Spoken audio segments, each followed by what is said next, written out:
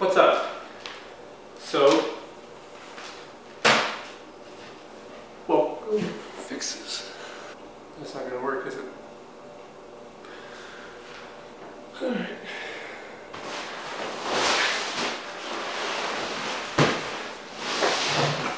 And this part comes undone all the time, so if I become lower in the video than I do at the beginning, uh, that's why. Don't get mad at me, I'm not getting shorter. Now it looks somewhat like a couch. Now this looks like a casting couch. I gotta fix this. Damn it, porn. Alright. So welcome back to my dead channel. It will be coming back, hopefully, if I can get around to doing some more of these review videos. I had some free time. But I do this one for fun. These reviews will more likely be not overviews as much as they are real reviews because I only want to review used parts. I don't think the person who's reviewing it can get a full, complete idea of how the part feels and the really finer points of the part until they've ridden it for a little bit, let it wear down, wear in, that kind of thing. So there won't be many overviews coming, hopefully a lot of reviews. Nothing that there's wrong with overviews. Overviews are great when you know product's coming out, you want to see it right then, all the specs, everything in person on video. So that's really great too, but it's not the video I want to make because I think there's a lack of actual reviews.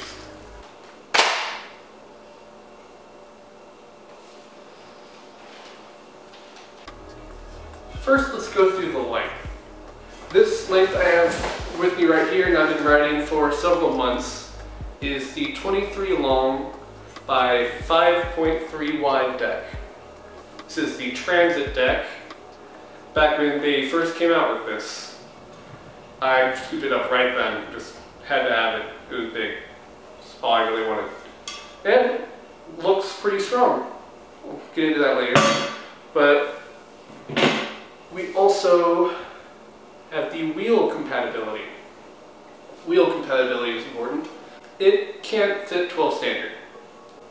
There is just not enough space to drill a hole that big. It's a thin deck, that's why a lot of people like it. Thin decks are becoming more popular, starting with the Paramount. The feel is just really nice on that, so it makes sense that people would do it too. But the downside is it's only compatible with regular wheels and Radix wheels, which is nice. Radix has become pretty popular.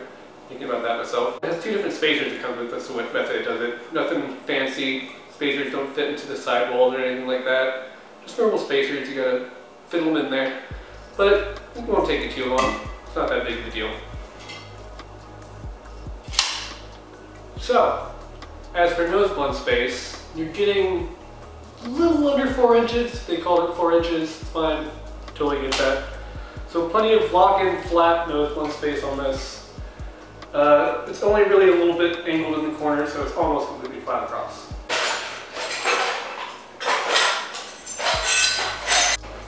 I really wanted to make this accurate for you guys, but I didn't have any headset bearings to stuff on in here to get a precise measurement.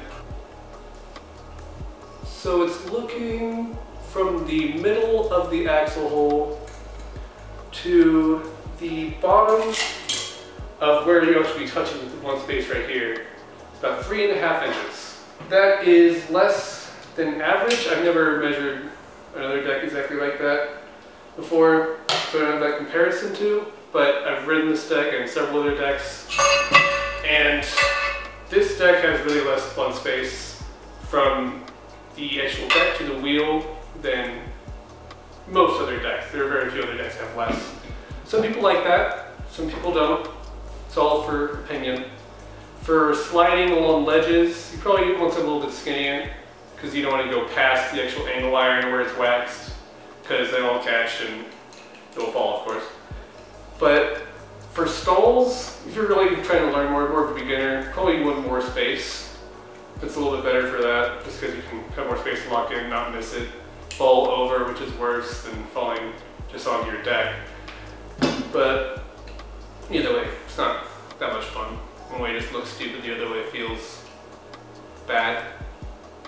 I guess is a layman's term for explaining it. I will say the head tube is longer a little bit than a TSI. I don't have a TSI. Because I just moved to Colorado. I had to leave most of my decks back home because I just moved what's fit in my car. But let's measure this fork tube length to show you. Fork tube comes in from top to bottom of the cups at about four and one eighths inches. Four and one eighths, say a little bit bigger than average, but sometimes it's good, sometimes that's bad, all depends on your fork. You might need some spacers, might not. To help me figure out the flip room, I might as well just put on the original brake. Slide that on here. This is not the original brake. I'll be right back. Where's that thing? Alright. This is the original brake. But this one has welded nuts to it. So if you strip one, I mean, you could probably put another one on after it. They aren't very big nuts. But on a casting couch, I just, oh god. But yeah, this is a little bit more of a complicated flex brake than the Aztek one that I just accidentally pulled out. It's a little bit curved, so it won't square your wheel. It's only, it's not the full slit. I prefer a full slit and I just use my own nut. But this works a certain method too. It's more of a uh, foot stopper, I think. It's better for that. I did forget to mention earlier that the reason the brake is that, ew, the lens is fine. The reason the brake is that way is with the V1, there is no cutout in the bottom of the deck for any brake holes. So if those bolts are not welded on, getting some nuts on there is a bitch. Is that right? No, it's not. If those nuts are not welded on, getting those bolts on there are a bitch. It has about 15 and a half inches of foot space. Not as much as you expect for 23, but this wheels, these wheels do come in a lot. And I'll show you on this in portion later. But the head tube doesn't go all the way to the end of the end of the deck, front of the deck, sorry. So it's going to push in even more from back, as well as the long wells. That also contributes to less blunt space, which we already talked about. But you might like it, you might not. We'll see. Either way, it extends out to 23, so you've got your feet all the way back here. For the actual grind width and the contact space when you're doing board slides, uh, sideways grinds, that kind of thing, it's the exact same on the as the bottom. So 5.3 on top, 5.3 on the bottom. So 5.3 is a lot not the most you can get right now. I think that would be the Urban Art Scooter Bread 6 wide and their normal 6 wide. It isn't a fully flat deck. It's almost fully flat. I'm not 100% sure why they didn't make it a fully flat deck. I feel like a lot of the reasons people, like the Siren, Fountain, that kind of thing, have this channel in the middle, and correct me if I'm wrong on this, but these welds are in that channel and when you grind it will protect those welds. So the structure of the head tube isn't going to be discounted from grinding. But with the transit, the welds are not in the channel. They're right outside of the channel because of the wide set stance of the head tube. And this means you grind right on. Not sure why that is. Don't know why they wouldn't make it fully flat when they did that. I'm sure they had their reasons for doing this. I just don't know what they are. Deck thickness. Let me show you. This deck is a thin deck. I like that. It can be harder to make it strong, but it provides better feel when grinding. There aren't many thin decks out there, there should be more. Three quarters of an inch wide. To compare that, I guess I'll go measure my siren for you. It's about an inch. Yeah, full inch. Maybe a little bit more, maybe a little less. I don't know, I have to ask Aztek, I don't have their exact numbers. But an inch versus three quarters of an inch makes a fair difference when you come to the field deck. Do you think the casting couch was just like secretly Harvey Weinstein behind the camera? The inserts for the North Transit are different, a little bit different from any other inserts that you'll find. Well, most inserts are either just little squares that insert into just a square back to grind on, and that just keeps the square back from bending in. Mostly just box cutter is the best example, I'd say. There's like the drone icon, that kind of thing. But everyone knows box cutter, so we'll just stick with that one. Totally square, just a rectangle slid into the back of the square deck. Other decks like the Siren, the Space Deck, they'll round out the back so that when you're grinding, it's not as catchy and you can, it's a little bit softer, I guess is the best way to explain it. Space uses kind of pegs that are made to fit into the back. Siren uses inserts that are really rectangles and rounded in one side. The North is different from both of those in that it's a square that is rounded on both sides and sticks actually out of the back of the deck. And this, some people call it a cheaper solution to making like perfect pegs that fit in just so, or the siren where it's just rounded at one end, but it's really thick. I also forgot to mention that these type of plugs will hold themselves in place since they have lips that hold them on the back of the deck whenever you tighten everything together, which is a very useful feature. This is, I think, the most aesthetically pleasing version of rear dropouts, dropout inserts. Especially because the gold. The gold just looks fantastic. I love it. If I had the June bug, it would look even better, but nothing's wrong with raw. Apparently stopped making raw for the V1.5 slash V2. But they should keep making it.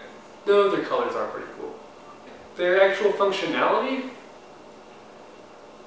average. I wouldn't say they're fantastic. They hold your bolt. That's important for any dropouts nowadays. If they aren't holding your bolt, what are they doing? You're not. They were originally made so that when one side wore down, the you could just flip them to the other side, flip them 90 degrees, 180 degrees, and then you'd have brand new spacers inserts to ride on. When you do flip them back around, they have a lip to them, so that anything remotely not smooth, they're going to catch on until they wear down again. Spots where you actually put in the nuts and bolts, those are very thin walled on each side, so those will bend in eventually, and you're going to have to bend those back out with some locking pliers or something like that to be able to get those out again, to change your wheel, tighten it. Well, but you can keep it tight. But to take it out at all, you're going to need to bend those out every time probably. Not a huge deal, something you see a lot of decks now, especially Paramounts. Oh, God. If you don't have those inserts, and even sometimes if you do have those little sketchy inserts, they'll bend in. It's not a fun time getting it back out. These ones not so bad. Though apparently the V2s are a little bit thicker. I don't know about the sidewall. Don't know how they're gonna make that thicker. But they do stick out more this way. Up or back or front or down or southwest, wherever you're pointing your deck. Lack of concave. There isn't concave on this deck. Apparently originally it was a manufacturing error, but with the new decks, they just kept it with no concave because people were liking it. I understand it. I prefer a deck with concave, but I don't mind it too much not having concave. Only real downside is that when you catch your whips, you can't tell exactly where you're catching it on the deck. It can be a little annoying sometimes until you really land, then you can figure it out obviously. But a little bit of a concave gives you a better feel for your feet, I think, of where the deck is the physical universe. The extrusion, I'll show that to you obviously from behind. It's the best way you can get a view of how the extrusion is made, the shape of it, give you an idea of strength you're looking at, but not obviously the total strength, because a lot of the strength comes from the welds up here, how it's jointed to the deck. The middle walls are very thick. Very, very thick. Thickest internal walls I've ever seen on a deck. And then there's another one in the middle, and of course the side wall at the side. But these two are very thin. Apparently they thought the ones in the middle would be the most important for structural rigidity. Most people just go with four walls though. They don't usually have an idea for the middle one. Not sure what their thinking was behind that. I could definitely see how that could help with strength, but the con is that this deck does not flex as much as Paramount.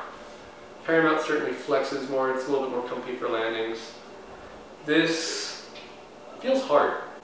If you like flex, maybe look elsewhere. This is about average, which is surprising for how thin it is, but when it comes to grinds, that's when you really notice the thickness. Maybe some people will, will disagree with me on that, because it's really all a feel thing. It's hard to prove how much a deck actually flexes. On OutsetSelect.com, it says this is a four pound deck. Specific about ounces, I doubt it's exactly four pounds. New Siren V2 is light. This is not a heavy deck, but it's not light either. If you're not throwing bride, front bride, buttercup things, this deck's gonna be great for street riders. Definitely a fan. You won't not like it unless you need concave, really. Actual grind space you have for ice picks on your dropouts, it goes all the way to the end. That's something along the lines of a little over two and a half inches. The aluminum type for the V1 is different from the V2, that's V1.5. Who knows what's going on there? The title for the vaults overview says V2, and Stevenson says in the video it's actually V1.5, and they're still changing the transit around, so who knows what you'll see in the future. So the V1 is 7075 aluminum. It's a bigger number, right? You think it'd be better. But apparently they had some issues. This deck itself has some cracks right here at the base of the welds. Um, that, which is surprising. I don't ride very hard much anymore. Got some bad joints and I don't like to make them worse. So I was expecting this to last years.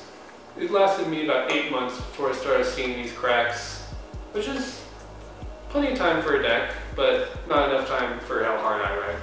So there were people breaking them in a month, two months, even heard a couple people breaking them in a few weeks, so those could have been just dud decks, you know. There are always going to be a few of those, that's why they have the warranties.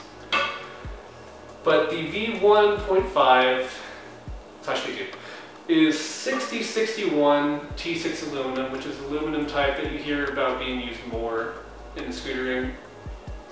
And T6 is heat treated. Heat treating is important. There's certainly, it's certainly a great way to make a deck stronger. It just aligns the magic in a deck so that they're lined up properly instead of all over the place. And so they join together better. I guess it's not random aluminum, it's structural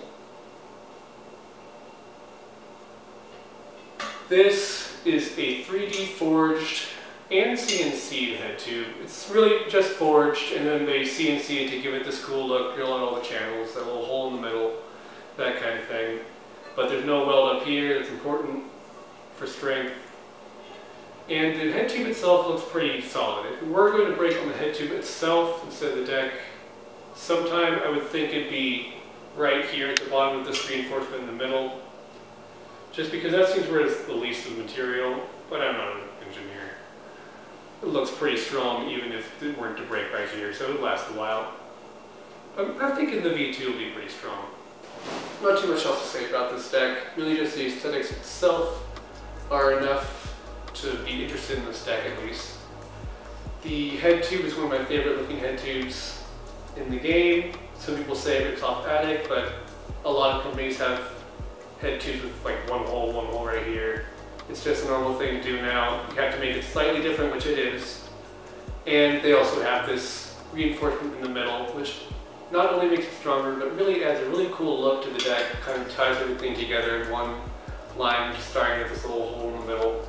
It's very nice, I like it. In conclusion about this deck, North is a good company, this is a good deck, the V1 was a good deck, the V1.5 and V2 seem like they'll be great decks. I really believe that. It won't be decks for everyone. They're not most well-rounded decks. They're they're a little bit heavy. They're certainly geared towards grinds, not so much towards uh, in-air balance. So those it's not bad. You can do plenty whips and that kind of thing with it. But it's just not exactly what it's made for. It's certainly a street-oriented deck. This thing. So North doing well. Doing well despite a little bit hiccup in the manufacturing. Doing well. And if you're a big old Street Rider, or even an average Street Rider who likes slightly bigger decks, come in 22 inch version and 23 inch version. They used to make an extruded version that came in 21. I don't think that comes out anymore. They might have a 21 inch version of the non, uh, what's the word? Non-signatures. But I don't know if they make 20 inch, 21 inches anymore. I'm not sure if they sold super well. I wanted a big deck back then, and that included the length as well. So it might just be 22 and 23 now. If you're a street rider who likes big decks, love 50s, that kind of thing, this is a fantastic deck for that. Not gonna lie. I was a fan of this deck, not disappointed in the purchase at all. The pricing is average. It's not a TSI pricing. TSIs are very expensive just because they're made in America and American manufacturing is more expensive than Chinese manufacturing, which I believe is a Chinese made deck, as almost every deck is now. And always has been. Other than TSI. TSI is really the only company I know that doesn't make their decks in China. Which isn't always a bad thing. Chinese people need to feed their families and make money too and learn math. And if that's something you need, you really only go with TSI. But you're looking something like $270 for a deck, maybe a bit less for a Paramount. Box Cutter, I believe, is something like 270 around there. At that point, this is a $200 deck. So you're saving 70 bucks right off the bat getting this deck, and you might be happier with it just because of where it's built doesn't mean it's going to be better, though TSI does have a much longer track record of making good decks. And they've always made good decks. Well, besides the uh, flight deck, we don't talk about that. So, North Spears. Not a company with a ton of clout, but they built a good following recent couple of years that they've been around. Providers seem to be pretty involved in the actual production of the parts, and that's always important to make the company, if it's not writer owned, at least most like a writer owned company as possible. I bought this deck when it originally came out. It was the biggest deck you could buy in the industry. 5.3 wide by 23. I think there was only one of the deck going wider than 5 at the time, and it was only 5.1. 5.1, pretty much the same as 5. I was riding a very old TSI sledge at the time. The V1, they didn't even have the square dropouts yet. So I was really excited to get the square dropouts. Never had that before. And I was not disappointed with this deck. The weight took some getting used to. The lack of flex was different. Of course, no concave is different with being used to, but you get used to it fast. I think it was about a month later we started seeing ads for the Aztek Siren and if I had known that, that would be coming out soon, I would have waited for that just because I was looking for size as my main point of purchase. Also, this first deck to be equally wide on the top and the bottom without having any of the uh, edging, I guess you could call it beveling at the bottom. The Paramount is completely rounded at the bottom on the edges, which is, I don't like that. It's not great You can't really tell when you're really locked in for 50s or anything like that, or board slides. You can't really tell when you're just falling off. It's not, I don't like it. Some people do. All opinion. sledges and really most other decks had kind of flat 45 degree angle to the wall. The reason people do this is for rough ledges. Rough concrete ledges specifically, they're gnar, they're all gnarled, they're not smooth.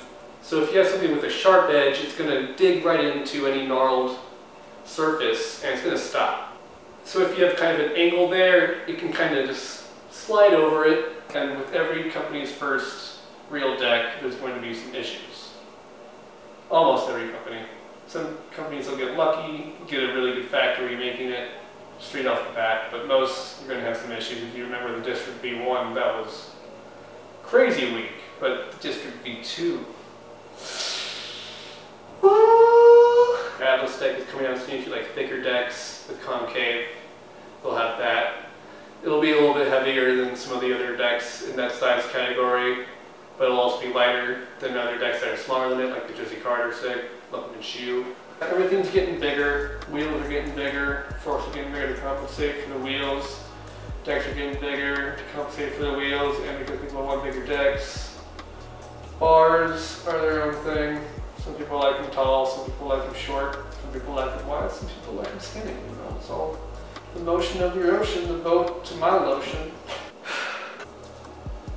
I'm not sure if I'll be buying too many parts from them in the future, specifically for my scooter, but they're a good company making good parts, and I would not be disappointed with any product I have from them.